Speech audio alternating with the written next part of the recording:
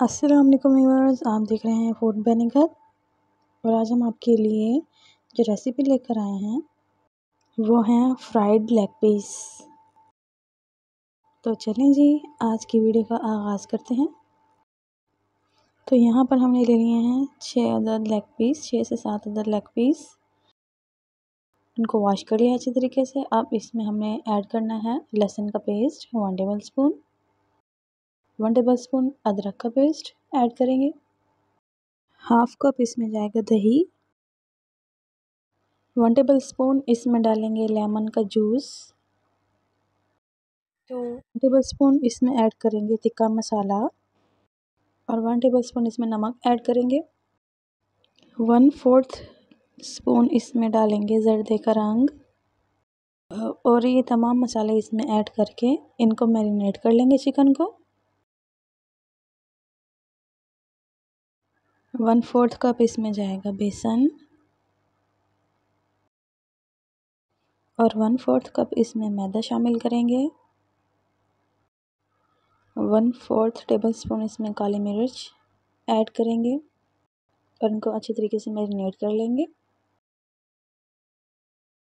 अब इसमें one table spoon सिरका शामिल करेंगे। One tablespoon soya sauce इसमें शामिल करेंगे। One tablespoon chilli sauce add करेंगे। अब इसमें जो है तमाम मसाले शामिल हो चुके हैं। और अब हमने चिकन के पीसीस को अच्छे तरीके से मैरिनेट कर लेना है। मैरिनेट करके हम तकरीबन चिकन को तीस मिनट के लिए कवर कर देंगे।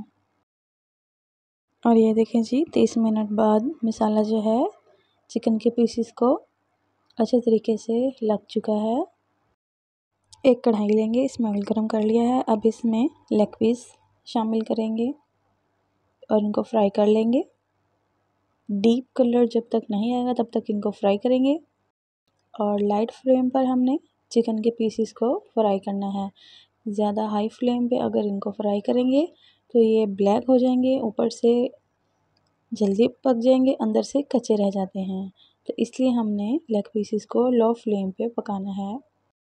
और आप देखें जी कितना प्यारा कलर आ रहा है लेग पीसीस का। अब इनको पलट देंगे।